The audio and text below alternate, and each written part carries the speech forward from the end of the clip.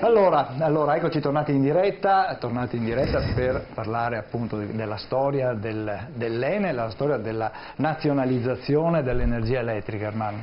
Eh, eh, questo da, vorremmo far capire, perché è una storia purtroppo dimenticata, quanto fu importante questa operazione quanto, e quanto costò poi questa operazione, ma era obbligatorio e quindi parlavamo prima di democratizzazione dell'Italia. Qual è stata questa democratizzazione? Se il nostro ospite Gottardo ci aiuta a ricordare un attimo, come fu impiegata l'energia elettrica per Io, connettere... Aspetti, no? sempre, queste cose che vanno sempre messe assieme, vanno più aspetti. Eh, eh, Enel viene perché prima c'è stato l'Eni e le autostrade, queste sono poi un po', un po', più in giù, ma altrettanto strategica, attraverso Bernabei, si faceva la televisione di Stato, mm. con tutta una funzione di acculturamento e di costruzione di un linguaggio collettivo, è tanto per capirlo. Sì, ma l'Enel che funzione ha avuto? Lei... Indirettamente, cioè direttamente, ma a noi, noi non diamo quel peso perché ma, ormai ma... per noi l'energia elettrica è una cosa che usiamo e sprechiamo. che mettevamo nelle campagne la televisione se non c'era l'Enel? C'è. Ma dove è stata la rivoluzione nel linguaggio, nei comportamenti, negli stili di vita che hanno imposto stili di vita, io ritengo positivamente, urbani in, nelle estreme appendici del paese dove non riuscivano neanche a parlare l'italiano. Le cose ci tengono profondamente. E noi magari le sottovalutiamo, ma una cosa chiama l'altra ed è una trasformazione profonda del paese, è una profonda trasformazione democratica, ma pensiamo al Veneto, che mm. già, come dice bene Segafredo eh, eh, eh, insomma era privilegiata nel consumo dell'energia elettrica, avevamo la Sade, apro la parentesi, la Sade aveva una reggia, era padrona, comandava vero, sapete dove comandava il Veneto la Sade? Da Palazzo Balbi.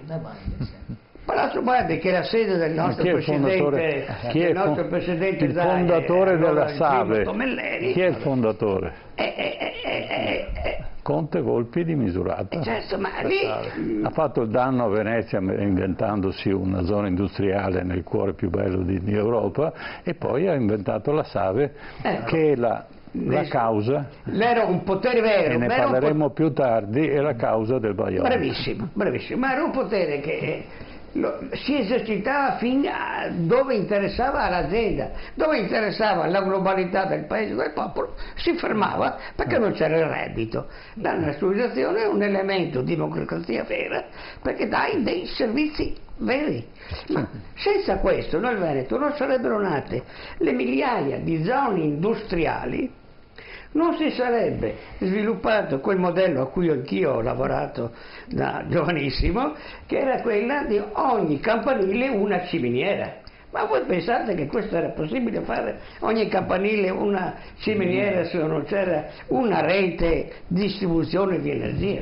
Questo nel bene e nel male, poi quando ci dirà che questo sarà... Adesso, ma adesso, adesso. Ogni cosa non ha solo un aspetto. Allora, secondo Boato, qual è la democratizzazione che ha dato l'Enel eh, all'Italia? No, non sono così ottimista come Gottardo. Cioè, tutto bene il discorso... No, ma raccontiamo i fatti, poi l'ottimismo eh lo tirano fuori. Quando si dice eh, questo magnifico progresso, eccetera, non è così perché è proprio quel modello lì che poi ha mostrato la corda, cioè questo diffondersi su tutto il territorio di una industrializzazione a macchia d'olio, a, a, a sale e pepe si diceva una volta dal punto di vista degli urbanisti, non è, non è stato positivo, scusami Gottardo, è stato un elemento che ha privato il Veneto spesso di una sua grandissima Beh, ma non è colpa dell'Enel, diciamo che è stato gestito male. È stato. Perché se all'Enel, azienda di Stato, gli si dava delle indicazioni, probabilmente la cosa sarebbe stata diversa. Ma non la, la politica. L'Ilva di, di. Taranto non sarebbe nata Italia dentro Taranto, non ma... dà le indicazioni all'industria, Mm. è, è- è il contrario. Mm. Io lo vedo tutti i giorni, insomma, lo Sì. vedo tutti i giorni questa cosa. Se ci sono degli interessi economici forti che abbiano un cognome o un altro, non voglio adesso perché Mm. abbiamo citato Volpi, potremmo citare gli attuali, sono loro quelli che alla fine dettano la politica, sono loro, anche se qualcuno dice che non è vero perché si fanno le elezioni, si regolano... Ma qui possiamo aprire una porta aperta. E quindi dire che quel sistema lì non è stato guidato dalla politica è l'acqua fresca, nel senso che niente Sì, ma la democrazia dove sta? Eh? La democrazia, come, come l'Enel in- indirettamente crea uno sviluppo democratico del Paese?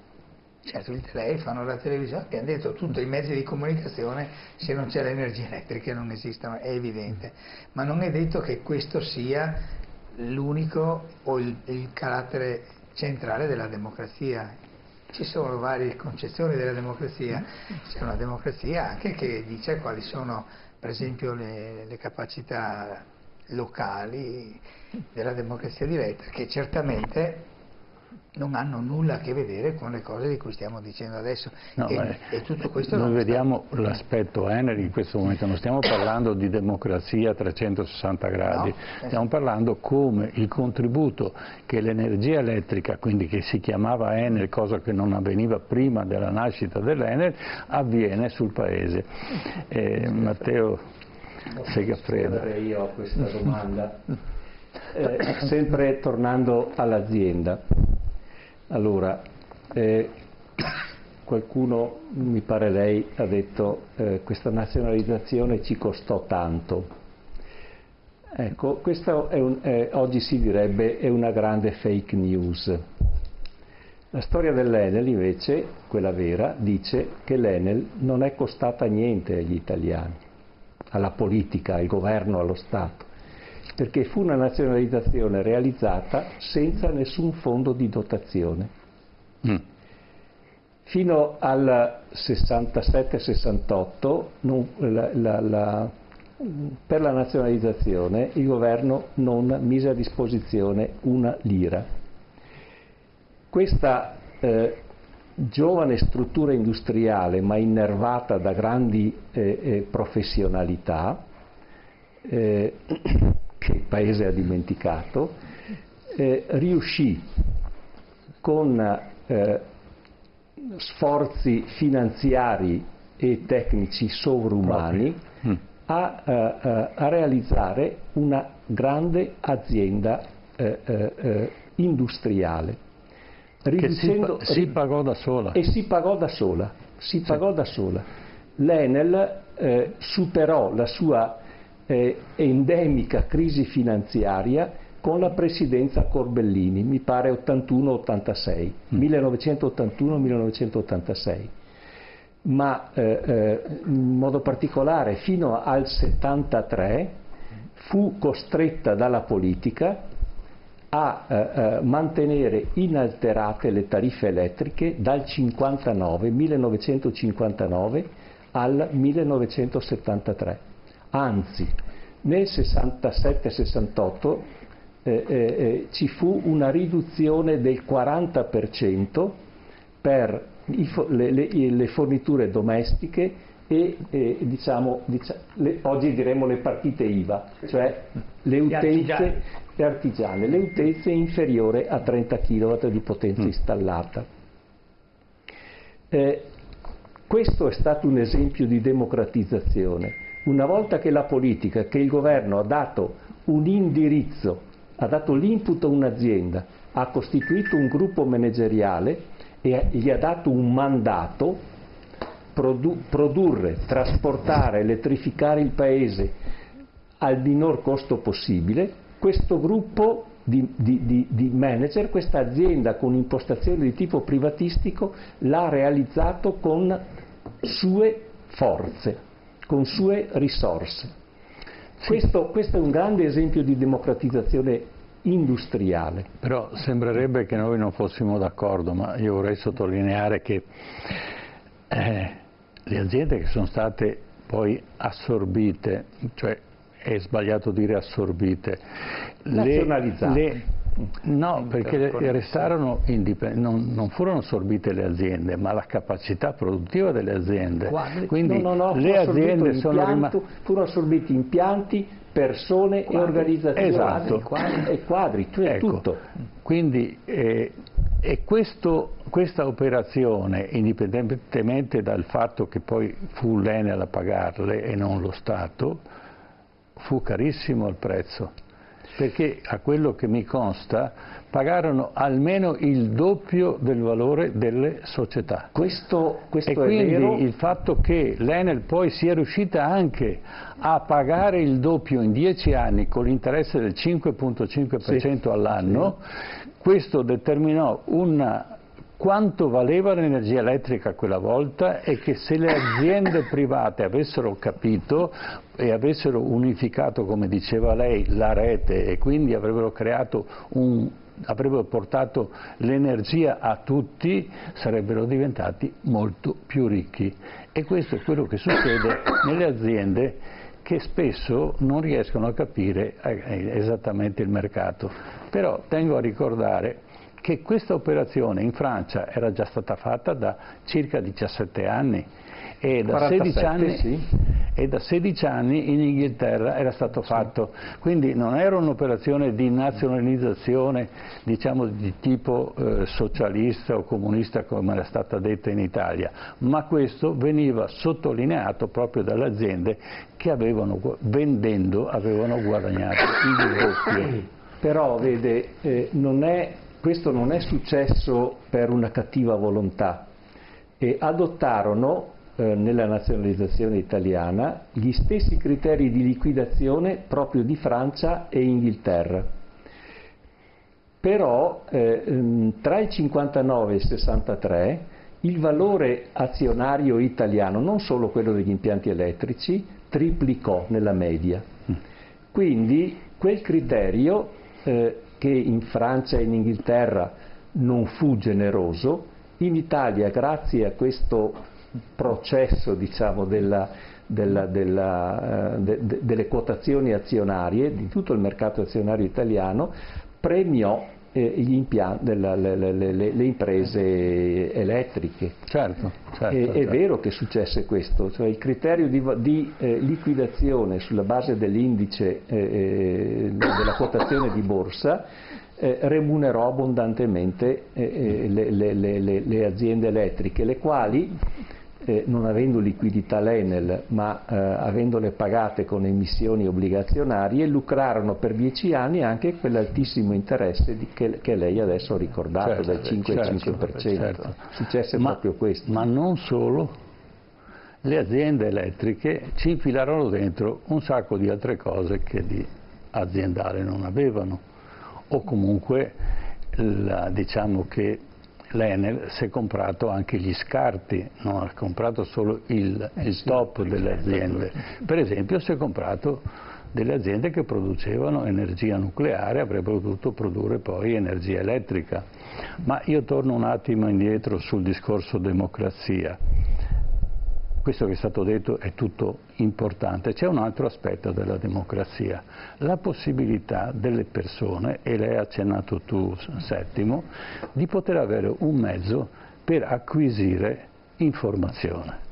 Allora, che l'informazione fosse condizionata da una serie di motivi politici, eccetera, non ha importanza, ma l'alfabetizzazione, indipendentemente poi dai corsi del maestro famoso che faceva come imparare a scrivere e a leggere, il fatto che tutti volevano capire quello che la gente parlava, il siciliano ha imparato a parlare l'italiano e il veneto ha imparato a parlare l'italiano meglio, il toscano lo sapeva già, quindi poco gli serviva la televisione, ma comunque io vi ricordo che avevo un carissimo amico che aveva un negozio ad Rovigo hm?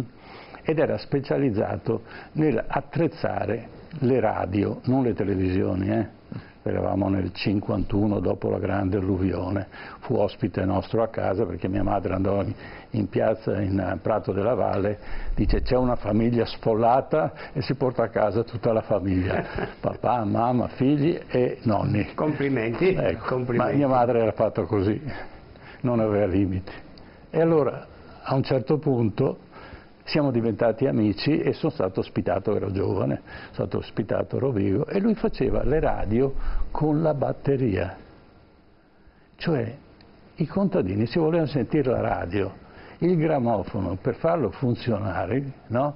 ci voleva la batteria. Allora gli ho fatto tutto il sistema, ma addirittura gli faceva l'impianto, se avevano il trattore, dalla batteria del trattore, lo portavano fino a casa, c'aveva il trasformatore. Il, eh, del, di energia e riuscivano qualche ora alla sera a sentire la radio. Eh? Questo era il sistema. E chi non era in grado di fare questo, che era già un contadino agiato, e naturalmente alla sera spende, spegneva la candela e andava a letto. Stuava il ciaro. Bravo, stuava il ciaro, ma c'è di più che le compagnie private addirittura non portavano l'energia elettrica nei paesi che avessero meno di 2.000 abitanti. Cioè quelli erano esclusi dalla società e tagliati fuori dalla, dalla civiltà sostanzialmente, perché l'importante è il, il mezzo, quindi la televisione, la radio, internet, eccetera. Poi sull'uso che se ne fa, questo fa parte di una cultura. Io però chiacchierando, chiacchierando, ci siamo, mh, mm, vorremmo soffermarci sulla tua presentazione ah, beh, cioè, dell'Enel, che è un escurso per i nostri quello, telespettatori. In pratica quello diciamo, abbiamo accennato, ma poi approfondiremo. abbiamo discusso fino adesso. Allora, possiamo proporre appunto questo servizio, vediamo. Alla fine del secondo conflitto mondiale, le nazioni devastate dalla guerra dovettero pianificare delle politiche per la ricostruzione e il rilancio economico produttivo. Francia e Gran Bretagna avevano attuato delle politiche di ricostruzione che prevedeva un ruolo attivo dello Stato nei meccanismi economici. L'energia elettrica era di primaria importanza e per questo avevano avviato una nazionalizzazione dei servizi di fornitura di energia elettrica. La stessa cosa non era avvenuta in Italia, dove una politica miope e una classe dirigente economicamente economicamente impreparata, ancora legata all'esperienza fascista, avevano portato a una posizione critica nella presenza dello Stato nella struttura economica e finanziaria del Paese. Nei primi anni 30, dopo la Grande Depressione, il servizio elettrico in Italia era basato su sei grandi gruppi autonomi e a carattere regionale, Edison, SIP, SADE, La Centrale, SME e Bastogi. Questi gruppi gestivano in autonomia i loro sistemi, escludendo una politica di coordinamento nazionale, che invece era già stata messa in pratica in Germania, Inghilterra e Francia, dove l'interconnessione e il coordinamento a livello nazionale erano già una realtà. Una posizione che metteva l'Italia in ritardo rispetto agli altri paesi europei, un ritardo che era anche tecnologico a causa di una struttura produttiva basata solo sulla generazione idraulica di corrente, che impediva una ripartizione efficiente tra i diversi tipi di di impianti in rapporto alla domanda. Dopo il 1945 si tornò a mettere in discussione il ruolo dell'iniziativa privata, anche a causa della crisi produttiva del settore, che portò a un razionamento dei consumi con continue richieste di aumenti tariffari.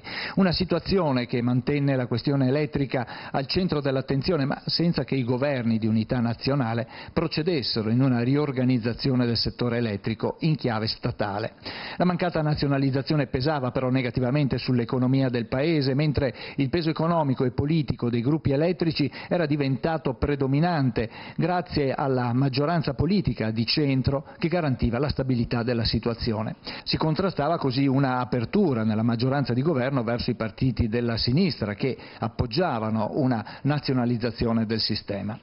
L'espansione però di alcuni gruppi elettrici in altri settori produttivi cambiò gli equilibri, in particolare quando Edison entrò nel settore della chimica che fino a quel momento era stato monopolio della Montecatini, una situazione che andò a incrinare gli equilibri in Confindustria sulla questione elettrica, tanto che nel 1962 Fiat e Montecatini non appoggiarono la campagna antinazionalizzazione.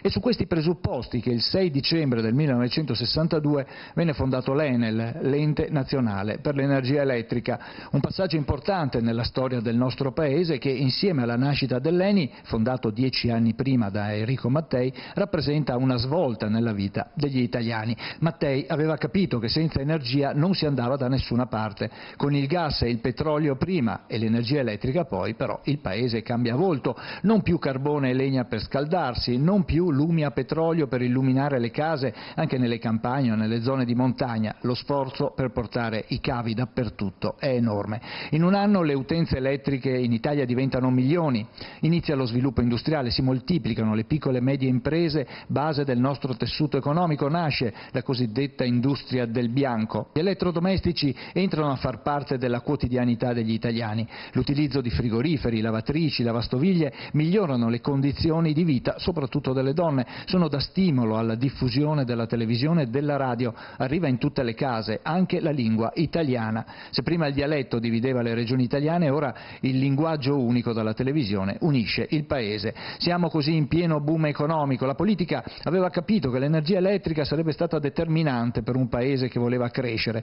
La chiave di volta in Italia fu l'ingresso del Partito Socialista Italiano di Pietro Nenni nell'area di maggioranza di governo. Avrebbe dato l'appoggio esterno all'esecutivo, ma con l'impegno della nazionalizzazione dell'energia elettrica. Il Presidente del Consiglio, Amintore Fanfani, con il suo esecutivo, sostenuto da Democrazia Cristiana, Partito Socialdemocratico, Partito Repubblicano e, come si diceva, Partito Socialista, presentarono il 26 giugno del 62 il disegno di legge istituzione dell'ente per l'energia elettrica e trasferimento adesso delle imprese esercenti le industrie elettriche. Il 6 dicembre il provvedimento diventa legge, con la nascita dell'Enel le imprese elettriche vengono nazionalizzate, vengono rilevate anche tre centrali nucleari delle 52 operanti nel mondo, centrali a carbone e numerose centrali idroelettriche. L'Enel fu posto sotto il controllo del Ministero dell'Industria per indennizzare gli imprenditori espropriati si decise di erogare una somma in contanti da versare non agli azionisti bensì alle stesse società che rimanevano quindi in piedi. Si decise anche che l'indennizzo sarebbe stato versato nelle casse delle società espropriate in dieci anni con un tasso di interesse del 5,50% annuo. Gli indennizi vennero investiti in altre attività che non sempre però portarono a risultati positivi. Il caso della Monte Edison, nata dalla fusione di Edison e Montecatini che nel 64 aveva già incorporato la SADE, l'azienda aveva investito nella chimica, andò incontro a problemi di sovrapproduzione, calo dei prezzi e continui movimenti azionari, con il risultato di perdite e forte indebitamento. Beh, insomma abbiamo ripercorso un poco, giusto Gottardo? Eh? Ma alcune cose mm. noi le avevamo anche un po', un po anticipate perché sono eh sì, no, no, nel infatti... senso dell'epoca. Però io vorrei insistere sul tema che il professore aveva prima toccato della democrazia. C'è un aspetto che riguarda l'Enel che lo differenzia nettamente dagli altri colossi che erano nati nel paese a garantire lo sviluppo, cioè IRI, certo. Eh, non dimentichiamo, era un'altra cosa, l'ENI e poi la RAI, che già c'era. Mentre questi tre colossi erano fortemente contigui e infiltrati dalla politica nel bene e nel male, più volte più nel male che nel bene, perché c'erano forme di reciproca eterodirezione, reciproca, non sempre utile. Questo non avviene, dobbiamo porci il problema perché non avviene, in parte il generale Segafredo l'ha detto prima, eh, non avviene nell'Enel. Mattei era quello che aveva coniato il, la battuta, i partiti, dice, i partiti per me sono un taxi, li prendo, mi faccio condurre dove voglio io, scendo e li pago. Punto. Non solo, ma si inventa delle correnti all'interno dei partiti e le mantiene e le paga dentro il PSI, dentro l'ADC e così via. Ciò non avviene con l'Enel. Probabilmente proprio perché diceva Matteo Segafredo aveva questa forte eh, impostazione tecnocratica. Questa forte eh, importazione tecnocratica la salva da queste incursioni e le consente una, una gestione di mercato abbastanza, abbastanza interessante. Perché è interessante? Perché eh, con l'acquisizione attuale è costretta anche a una sensibilità sociale che era del tutto, e territoriale che era del tutto assente nelle precedenti società private. Poi, eh, eh, Boato, la Sade, il Bayonne Esattamente. Tanto per dirsi, cioè, questi fenomeni qui eh, sono cose inimmaginabili, certo. mai, dim- allora, mai dimenticare. Ecco, ecco. Mai, mai dimenticare. Però dico, questo è interessante perché il contrario invece, l'IRI finché è rimasta era una chiara piattaforma di lottizzazione, io ne sono stato buon testimone, ma la RAI ancora adesso lo è, tuttora l'ultimo usciere viene pesato nel bilancino della lottizzazione ed è stato lo la vediamo, fine della funzione lo, egemonica della RAI. Hai perfettamente ragione, basta ecco. vedere eh, i telegiornali, le varie impostazioni, ma questo appartiene. Ecco, no, alla... questo è interessante. Volevo terminare se professor sì. Mi, consenti mezzo sì. secondo proprio una battuta. Dubbi che ho adesso mm. è lo sviluppo successivo dell'Enel di enti in qualche modo paralleli, quelli che riguardano le telecomunicazioni. È la rivoluzione mondiale che c'è in questo settore. Io su questo ho un forte timore che le telecomunicazioni seguono più l'esempio della televisione che della Enel e dobbiamo stare molto attenti perché nella riorganizzazione del 5G e così via, dei controlli dei cittadini, ehm, il fatto che si sceglie una via totalmente ed esclusivamente pubblica e mi pare che l'interesse almeno di questo governo è quello di farla addirittura monopolistica, mm, io starei un po' attento perché rischia di non seguire il modello virtuoso Enel tecnocratica a servizio, ma un modello più, più televisione, più IVI, più eccetera. Ti eccetera, posso suggerire eccetera. che è, una la mia preoccupazione globalizzazione della cultura in senso negativo. Beh. E allora eh, la stessa mm, Boato, Boato le lascio Io la parola. La, mostrare l'altra faccia della medaglia. Mm. Tutto bene, Madama la Marchesa, però però al terzo piano dove abitavo a Venezia abitava un certo ingegner Biadene mm. mm-hmm. che per avere i soldi dello Stato ha fatto morire 3.000 persone col Vaillant rispondendo che Dio ce la mandi buona quando gli ingegneri gli dicevano il Monte Toc sta scendendo mm. tecnocrazia sì però c'è anche questo lì comandava il dio denaro bisognava prendere i soldi e io questo l'ho visto di persona poi, quando, durante la costruzione della centrale di Fosina, quando sono stato assunto da Manovale con la ditta Franco Tosi, Tosi è caduto un ragazzo da 30, da 30 metri ed è morto. E non era il primo. E questo era il modo con cui si lavorava, lì c'è voluta una guerra perché ci si fossero mantenuti le, le, le, misure di sicurezza, un comitato antinfortunistico e tutte le cose che poi hanno impedito che ce ne fossero altri morti. Cioè il, eh, la gestione de, di, questa, di, questa, società lì era la Francotosi, però c'era ovviamente una responsabilità della dirigenza di chi era Franco Tosi dava, dava l'appalto e così via. Mi ricordo le assemblee a ripetizione, infatti io sto adesso ho appena finito un libro che ricorda gli anni dal 70 all'85, siamo andati avanti anni, cinque anni a chiedere che la centrale di Fusina non andasse a carbone, andasse a metano. Adesso il giornale di oggi a tutta pagina, oggi Oggi, non nel 1979, cioè sono passati 40 anni e si mette da parte il carbone e si parla che dall'anno prossimo, dal 2023, andrà a metano fusina. In questi 40 anni quanti morti di tumore, quante intossicazioni, quante eh, eccetera, eccetera, per i bambini e così via. Cioè la logica del profitto non è solo quella che porta a avere la televisione in tutta... Cioè, è anche questo, non è solo il Vaillant, sto parlando di, di, di tante cose, ho, visto, ho parlato del, del, del, mondo del lavoro e, delle, e delle, dei nostri polmoni. E poi il nucleare che è stato prima citato.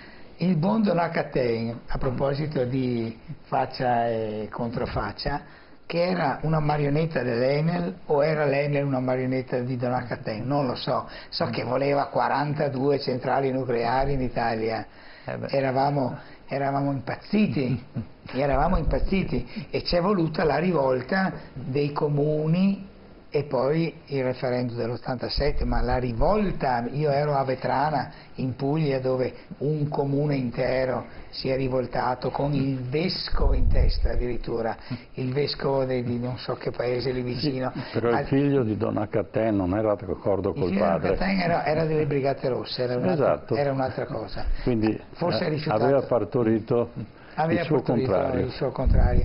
Ma io sto pensando, Don Acatè, che pure io ho conosciuto perché era delle Acri, come sono passato per le Acri anch'io, mm. e l'ho trovato a Vallombrosa negli incontri delle Acri, che sembrava la persona intelligente, eccetera, però poi c'era un tarlo dietro che era un tarlo altro che democrazia, lì, lì c'era, di, c'era di mezzo certo. un grande fratello che voleva, che voleva prendere in mano una sì, situazione. però usciamo un po' dall'Enel. Comunque eh, no, eh no, era l'Enel quel, il cuore del, del, del, piano energetico nazionale, era certo. l'Enel il cuore, non era l'Eni, perché, sì. perché l'Eni non la voleva, l'Eni voleva il metano, voleva altre cose, non era, quindi non siamo fuori da questo. Eh, ma, eh, ma non, non, a, non, a, caso nel 62 quando, quando succede che creano l'Eni, eh, eh, viene sacrificato Mattei. Certo. Mattei ha portato il gas in Italia certo. quando tutti lo prendevano in giro.